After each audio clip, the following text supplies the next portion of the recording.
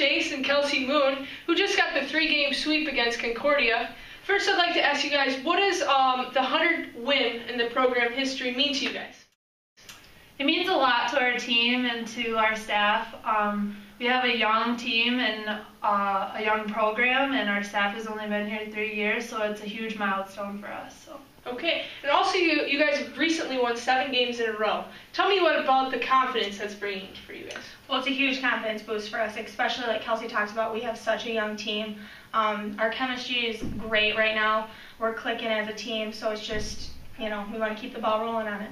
All right, and lastly, you guys are 4 0 in conference play in the WHAC. Um, tell me a little bit more about that. What your goals are for the season? Well, our ultimate goal is to put a banner up on that wall, and um, we won a conference championship this year. So we're just gonna play all out each game um, and push, do everything we can to win, keep our record going strong. All right, thank you very much. Thank you. Meanwhile, outside, men's soccer is taking on Lawrence Tech. Let's take a look and see how they did tonight. Don Lynch here, aka Ledley King. So Davenport wins tonight against Lawrence Tech with a 4-3 victory at home. Um, Stuart Collins got the winner in the 88th minute, the assist by Dino Duratovic. So Stuart, why don't you tell us a bit about that goal?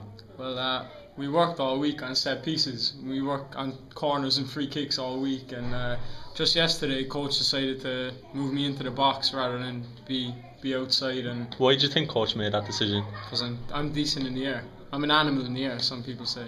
Some people say he should put bring me up there. I, some people.